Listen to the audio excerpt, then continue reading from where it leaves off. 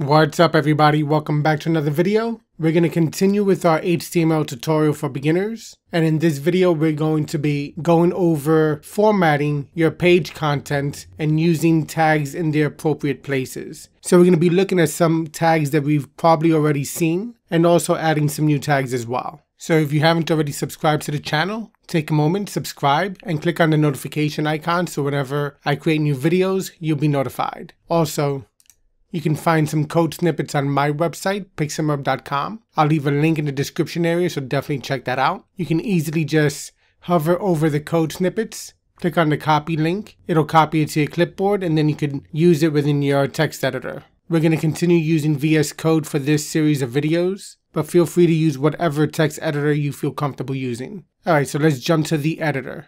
So what I want to do here is go to the root of our folder. Remember, we're working with an HTML folder on our desktop. And I'm going to create a new file and call it formatting.html.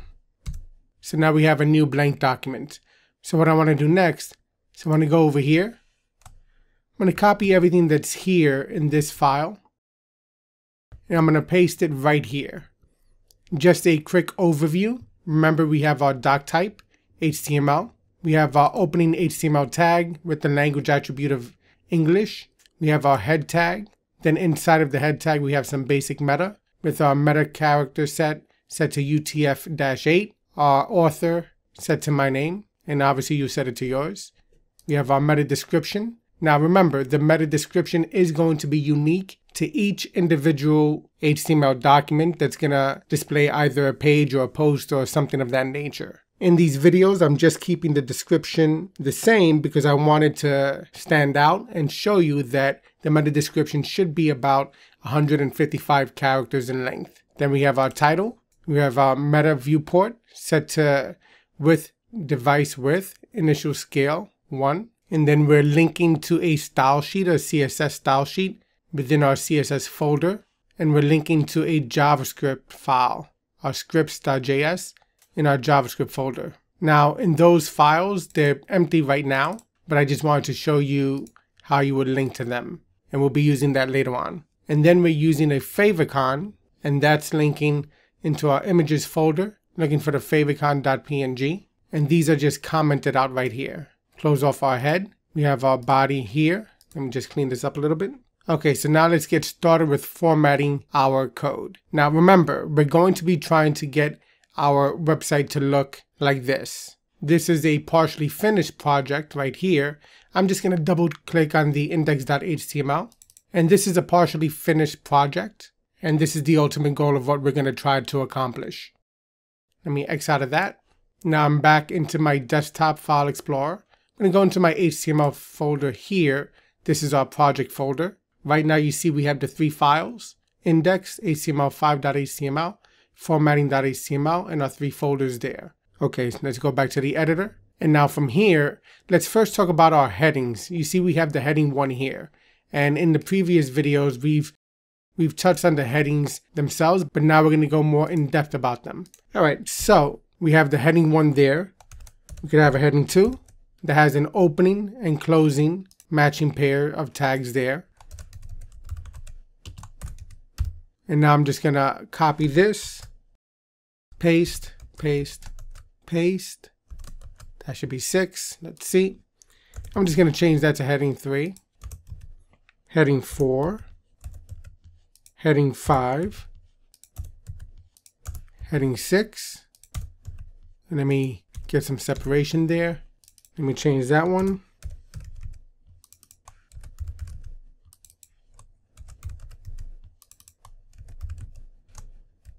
Okay, so now we have our six headings here. Now, what does the heading tag represent? Well, the heading tags, they represent semantic information for the browsers themselves. It provides information in terms of the hierarchy for the actual content. So for example, if we are on the formatting.html page, right? Let me actually go up here, the title, call that formatting, HTML formatting. So if we go here, the H1 tag for this particular page should be something like HTML formatting. Because that's the title. So we don't want to have our site title be the H1 in this case. That will be saved for like the home page or and the blog page. So we don't want to have our site title on this page be the H1 because we want to tell the browser that the actual title of the page itself is the most important in terms of how it should be recognized. So in this case, we want the HTML formatting to be the H1. If you are inside of an article, you can have the H2. And let's say this is going to be for a sub portion of your content. So let's say here, the title of this page is HTML formatting. So this can be secondary towards that actual title. So we can say how to format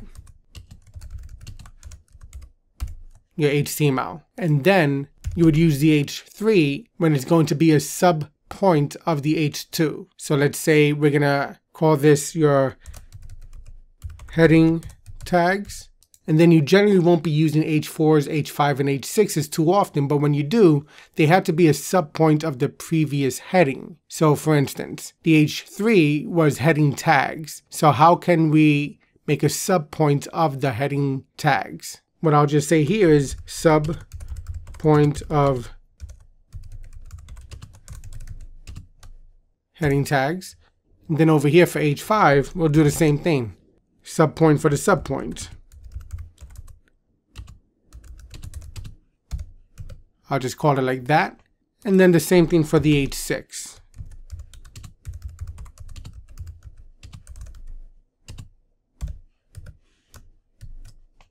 Okay, so just to try to clarify this, what we're saying here is the H1 is the most important heading tag for the actual page itself. The H2 is going to be the second most important and is typically a sub point for the H1 and you're going to try to make sure that your content is structured properly so that way it has a proper flow. And then the H3, the same thing, it's going to be a subpoint for that one. And then the H4, H5, and H6, they follow that same hierarchy. Okay, so now we save this. Let's go back to our File Explorer. Now what I want to do is I want to double click on the formatting.html. I'm going to make this bigger here. So we see that the H1 here is the largest item on this page itself. Then we have the H2, it's a little bit smaller, but it's still bigger than the H3, then the H4, H5, and H6. And then we have our paragraph. Mind you, these are the default styling from the browser. You could always change this up in CSS, but one thing you don't want to do is use the heading tags for formatting purposes in terms of getting them to be larger or smaller for particular content. That would be a mistake because it gives the wrong information to the browsers and to screen readers and accessibility devices. So you want to use it for its intended purpose and which is to provide a hierarchy for your heading tags on your page. So let's go back to our text editor. All right, so now we covered the heading tags. We've already seen the paragraph tag here, but now what I want to do is since we're talking about formatting, I'm going to get some lorem ipsum. Lorem ipsum is generic text that you could use to fill in some of your content. So I'll do a search for that. And we could just go to this generator page right here and we can decide how many paragraphs we want. So I just want one paragraph. So I can say generate, copy to clipboard, and then here, I'm just gonna paste that in and then save it. So now we have the opening and closing paragraph tags that we've seen before. But now we're going to format this. Let me duplicate this a couple of times. Okay, so in our first paragraph, let's say we wanted to make this line right here bold. What can we do? Well, there's two things we can do. The first one is we could use the B tag. I'm going to cut the closing one from there. I'm just going to paste it here save that. So this will bold it. Let's go back to the browser. Let's reload. And now you see that that first sentence there is bolded. Let's inspect the elements and you see it's bolded. All right, so that works. But now, is that providing semantic meaning to the browser and to screen readers? All it's really doing is just changing the way it looks. It doesn't really provide any extra emphasis or any extra meaning for the browser itself. So visually it looks bold, but it's not really saying anything extra. Let's go back to our editor and see how we can provide extra semantic meaning to it. Okay, so for this one here, right here, this line, I'm going to use the strong tag. And this is going to do pretty much the same thing as the bold tag in terms of appearance, but it's going to provide extra semantic meaning to the browser itself and to screen readers and accessibility devices. So we save that. Let's go back to our browser. Let's reload. And now we see that it's bold as well, but it's providing extra semantic meaning. Now, visually it looks the same, but it makes a difference. So when you want to provide some extra meaning to a particular line or to a particular piece of your content, you could use the strong tag. If you just want to bold something without adding extra meaning, then you could just use the B tag. I tend to use the strong tag for the most part because if I'm going to try to drive more attention to a particular piece of content, it's going to be for a specific reason. So the strong tag, in my opinion, should be used most often. Let's go back to our editor. Let's take this line right here. Let's say now I want to italicize it. You can use the I tag for italicize. Cut that.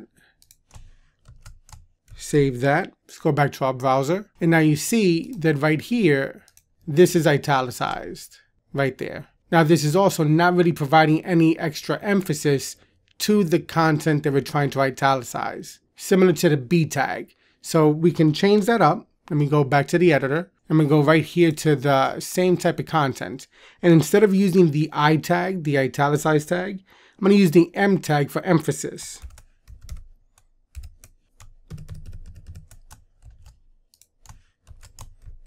Save that. Let's reload. And now it visually looks the same, but it's providing additional meaning to the browser and to screen readers and accessibility devices. So like the strong tag, I tend to use the emphasis tag more, most often. So the I tag follows the same pattern, meaning you have your opening tag with the lesser than symbol, the I, and the greater than symbol. And then for the closing, you have your lesser than symbol, your slash, the I, and then the greater than symbol. Same thing for the B, follows that pattern. The strong tag does the same thing in terms of the pattern, and then the emphasis tag also. Now, let's say you wanted to highlight some text, but you didn't want to bold it, you didn't want to italicize it, or you didn't want to provide any extra emphasis or something like that. Let's go over here, this line right here. We can use the HTML tag for marking it. So be the lesser than symbol.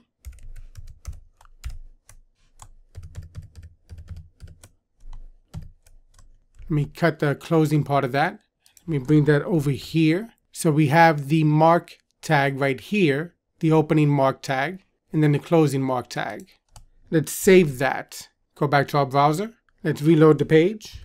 And now we see that it's highlighted yellow. So that's the mark tag itself. Let's go back to our editor. Another thing we could do is let's say we wanted to share some formatted text. So I'm going to go down here to a new line right here.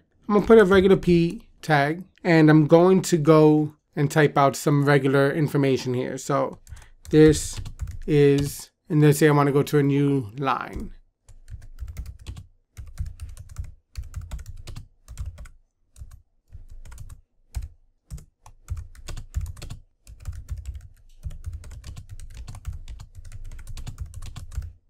Okay, so let's say I wanted to have some content for whatever reason go onto separate lines. You would think that I could just go to the next line, right? Well, white space in HTML doesn't act the way you think it does. So if I save this and I go to the browser and I reload, this is some multi-line content. Is it displaying as I want it to? The answer is no. If I inspect that, we see that here it's generating itself in the backend or on the backend of the browser at least on multiple lines, but is being displayed on one line in the browser itself. And that's because of the way that HTML and white space works. So let's say if you wanted this to actually be on multiple lines, what can you do? Let's go back to the editor. You could always just use the closing p tag there.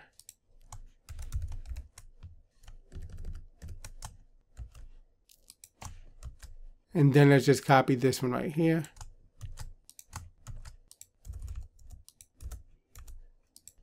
I'm just going to try to clean this up. All right, let's save that. Now that will display on multiple lines, right? And in an upcoming video, I'll go over the whole entire block level elements and inline level elements and the box model, things of that nature. But this is just a preview of how this content works. Let's go back to the browser. Let's reload. Now it's on multiple lines, but you see what's happening here. There's some spacing because by default, if we go over here to any of the paragraphs, we can go to computed, raise this up, and you see that there's um, some spacing, 16 pixels after the paragraph itself, right there. That's being automatically generated by the browser. And CSS can resolve this for you, but you're not going to always want to have CSS do it for you. So let's go back to the editor. What I'm going to do now is get rid of these p tags. And what I'll do is I'll introduce you to the pre-formatted tag itself. So now we have our pre-tag here, our pre-formatted opening tag, and we have our closing here. Save that. Let's go back to the browser. Let's reload. And now you see that it's going onto multiple lines and it's formatted how we wanted. Doesn't have the extra padding or margin in between each line. Let's go back to the editor. Let's say we want this one to be tabbed in two more times. Let's save that. Back to the browser, reload, and now that's indented two more times. So what the pre-formatted tag does, the pre-tag, is that it keeps the formatting that you intended in the HTML code. But you see here it also used different font or different styling. And this is the default for the browsers. Again, CSS can change all this. If you want it to look similar to how your paragraphs look, you can change that. But generally, we'll keep the pre-formatted text to be different. So now, let's go back to our editor. Now let's say we wanted to share a code snippet. So for instance, I'm going to go back actually to my website real quick. I'm going to grab this code snippet right here. Let's go back to our editor. Now we can use the code tag.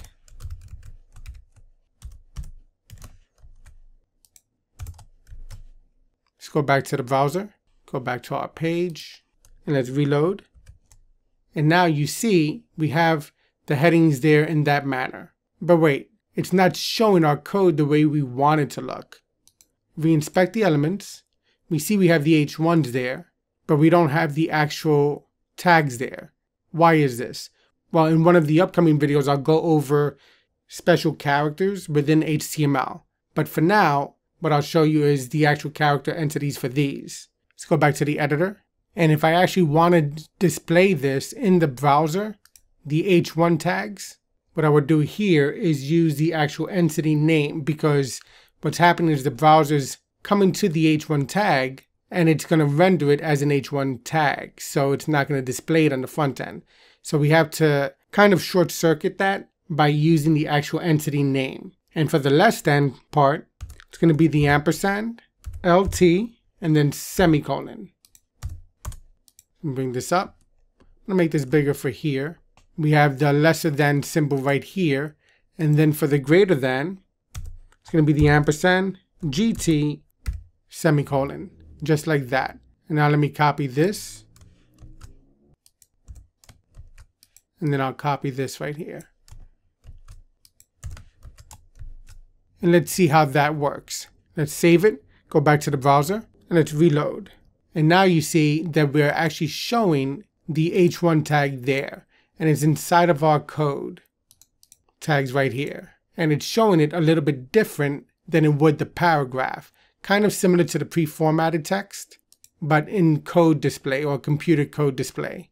Now you just saw how to use the code tag, and I also very quickly introduced you to the HTML entities if you want to display your code with the actual code snippets in the browser. Let's go ahead and duplicate that for the rest of the headings here. Go back to the editor. I'm going to copy that. And do the same thing for this. And then same thing here.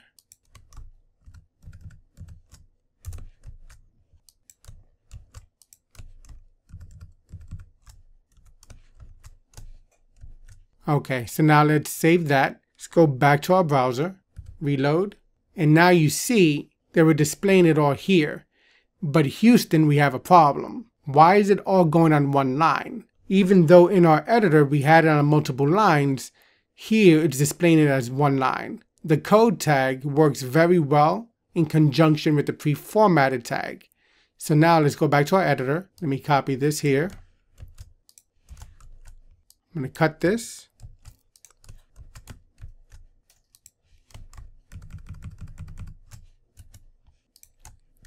Save it. So now we're using our pre-formatted tag here in conjunction with our code tag and the actual HTML entities for the lesser than and greater than symbols in the appropriate places. Take a moment and make sure yours looks like that. And now let's go back to the browser. Notice real quick how it's on one line. Let's reload. And now they're on multiple lines. And if we inspect the element, go into our code right here, we see how that's working. Okay, let's go back to our editor. Let's say we have some text that for whatever reason we want to make it look smaller within our paragraph. So I'm going to go to this line right here. I'm just going to use the small tag. Cut that out. Paste it there. Save it. So we have our opening small tag here and our closing small tag. Let's go back to the browser and let's see how that looks. Let's reload. And it might be tough to see, but right over here in this paragraph, this section here, the text is a little bit smaller than the text to its left and right. We go down to the developer tools, we can see right here that our small tag is um, a little bit smaller. And of course you can change this with CSS. Right now it says font size smaller. I'll show you real quick if you wanted to. We can say font size, let's say 8 pixels. And now you see it's really small. That's styling it with CSS, but the default is just going to make it just a little bit smaller. Okay, let's go back to our editor. And now let's go on to the subscript and the superscript. Let's move to this paragraph here. I'm going to make that bold for now because I'm not trying to really give real semantic meaning to this, but I just want to make it easier for us to identify the text to the right for the demonstration. The first one is subscript. Now what is that? Let's use our sub tag. And now let me paste that here. So we have our opening sub tag right here and our closing sub tag here. Let's save that, go back to the browser, let's reload. And now over here, you see that this text is lower than the regular line text right here. So that's the subtext right there. Inspect that. You see that right there. And you see what it's doing here. Vertical align sub, font size smaller. Let's go back to the editor. Let's go to the next line. And let's use our superscript tag. Right here. And actually, let's take this right here and put it in between so you can see the difference. Okay, so we have our opening superscript tag right there, SUP, and then we have our closing superscript tag right there. Save that. Let's reload. So we have our subscript here, a regular line of text for our paragraph, and then we have our superscript, which is above it. And then we go back into our regular paragraph text right there. We inspect this. Now you see that vertical align super, which means it's going up and font size smaller. Now, sometimes you're going to see that some text gets deleted, or you're going to see that in a website on a page, if content is going to be taken out, but they want to show that it was there before, they might have a line going through it. How do they do that? We can use our delete tags, cut that out, paste it right there. Let's save that. Let's reload. And now you see that this line right here has a line going through it. Text decoration line through for the deleted tag. And you see, we just have our opening tag here and our closing tag here. Now, let's say this is going to be the new text that's inserted. So we can use our insert tag in that manner. Let's cut this out, Paste it right there, save it. Let's reload. And now the inserted text has an underline underneath it. So now let's say we want to do something different here. Let me go get a clean paragraph. I'll grab this one. Actually, we'll just work with this one right here. Okay, so let's say you're within your paragraph and you want to have a line break somewhere, but you don't want to use the pre-tags. Let's go here. We could use the BR tag or the line break tag. And you might see it like this or like this with the um, self-closing part of it. And that's because this is a self-closing or individual tag that doesn't have a matching tag. Either way is correct, but we're going to stick to the BR like that. Save it. Let's reload. And now you see right here, we have a line break. We inspect that element. We see we have our BR tag right there. Let's say we wanted to have some form of separation within our content, separated by different topics or different logical groups or something of that nature. But we can use the horizontal rule. And it's also referenced like a thematic break. So let's say here, this paragraph, this content, is going to be separated from the content below. Besides using the sections to separate content for semantic meaning, we could also use the horizontal rule to provide some separation as well. So it's just the HR tag. And one thing you would have noticed by now is that it's a self-closing tag. The BR tag is self-closing and the HR tag as well. Save that. Let's reload. And now you see we have this horizontal rule, this line, separating the paragraph above from the content below. Now let's talk about how we can insert some quotes or quotations within our content and properly cite them. Let's go back to our editor. Over here, or actually above it, let's say we want to have a quote. Well, what I could do to add a quote here is use the block quote tag.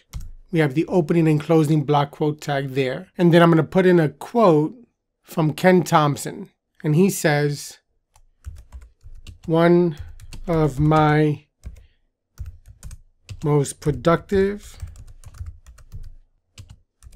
days was throwing away 1,000 lines of code. And then, right underneath the quote itself, I could use the cite tag.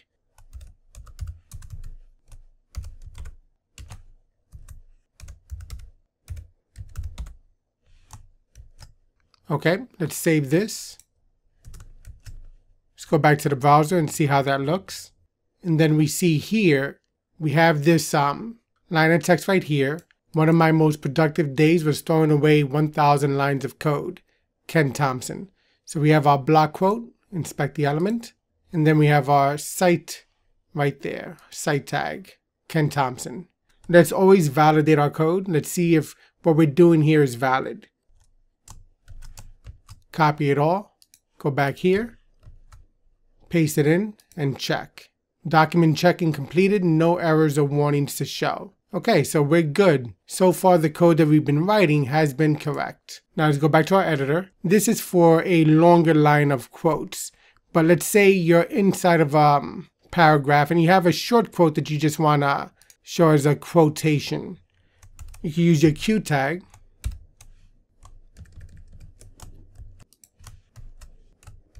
which is your Q opening tag, and then the closing one there. Let's go back to the browser. Let's reload. And now we just have quotation marks right here. So this is for a block of quotes or a block quote, and this is for a regular inline quote. But now in the block quote, we could also do something else. If we want to link to or cite the actual address of where we're taking the quote from or something of that nature, we can do that as well. First thing, let me go here. I'm going to Google Ken Thompson. So he is an American pioneer of computer science. I'll copy the link. I'll go back to the editor. And then inside of the opening block quote tag, I could say cite. And what I'm using is the HTML attribute with the value. And this is the link right there. Now let's go back to the browser. Go back to our page. Let's reload. And nothing's showing on the front end, but over here, we see it's embedded within the content. Let's validate this. And we're looking good except for now we have this little warning here. And it's because we have the HTML language attribute set to English and it's saying that it looks like we're using lorem ipsum. So we should use the ZXX. So I'll just copy that real quick. Go back to our editor. I'm going to go up to the top of the page and paste that there. Save it. Back to the browser. Reload. Validate that again. And again, no warnings. Okay, let's go back to our editor. And now, let's say towards the bottom, we're going to put, first let's use our footer tag. Let's say we want to put in our address, where people can get in touch with us or send us information. So we can say, we're going to use our address HTML tag, and then we can put in our information here.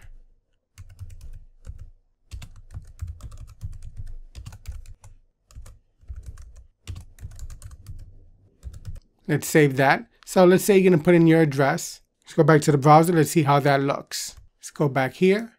Remember we put it towards the bottom. Let's reload. And now we have it there. And pretty much this is showing our information on one line. Now if we wanted to have it go on to multiple lines how we had it inside of the address tag, like how we have here, we can go back to our editor and we can use the BR tag that we saw before, the line break tag. Save that, go back to our browser, reload, and now we see that's on a new line on each of them. So that's the address tag.